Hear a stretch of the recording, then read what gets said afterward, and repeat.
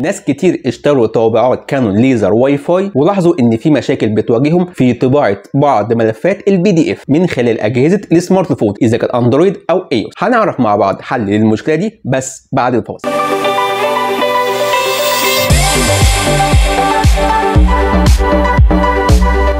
السلام عليكم ورحمة الله وبركاته. ازيكم إخواني عاملين إيه؟ أخباركم إيه؟ إن شاء الله تكونوا بخير وبافضل حال معاكم أحمد الساب من قناة Canon بالعربي. وحلقتنا النهارده هنعرف مع بعض حل لمشكلة عدم طباعة ملفات ال PDF من خلال أجهزة ال smartphone. والمشكلة دي قابلت ناس كتير قوي. بيلاحظوا إن في بعض ملفات ال PDF بتطبع بشكل طبيعي وفي ملفات تانية من ال PDF بيظهر لهم على شاشة الطبع PDF error أو الطابع بتستلم ال order ومش بتطبع. والمشكلة دي بكررها تاني مرة في طابعات Canon ليزر اللي فيها خاصيه الواي فاي ولو حاولت تطبع الملفات ال PDF اللي فيها مشاكل من خلال اللابتوب أو الكمبيوتر هتطبع معاك بشكل طبيعي لأن المشكلة دي متعلقة بجميع أجهزة ال smartphone فقط. أول خطوة لازم تتأكد منها إنك بتستخدم برنامج Canon Print Business المدعم من شركة Canon لأن الخطوات اللي إحنا هنتبعوها مع بعض هتبقى من خلال البرنامج. وتاني خطوة معانا هنروح لأي جهاز بيشتغل بنظام الأندرويد ونتبع الخطوات واحدة واحدة مع بعض. وبعد كده هنجرب ملف ال PDF اللي كان فيه مشكلة ومش بيطبع معاك. وبعد كده هنروح لجهاز بيشتغل بنظام ال iOS اللي هو أي جهاز آيفون ونتبع نفس الخطوات وعشان ما أطولش عليكم يلا بينا نروح لجهاز الأندرويد ثم نتبع بعديه جهاز آيفون. فيلا بينا. هنفتح برنامج Canon عادي جدا وهنيجي فوق على رقم الطبعة ونضغط عليها ضغطة واحدة. ثم نختار تاني اختيار وهو print options هنلاحظ إن في علامة صح بالأزرق موجودة جنب اختيار PDF direct print هنشيل الصح ديت ونضغط OK ثم نرجع خطوة لورا. ثم تجرب تطبع أي ملف PDF كان معلق معاك أو أي ملف PDF ما كانش بيطبع معاك. أول حاجة هنعملها هنضغط على إيقونة الطباعة ثم printer settings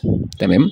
ثم print options ثم نقفل PDF direct print ثم نرجع خطوة لورا.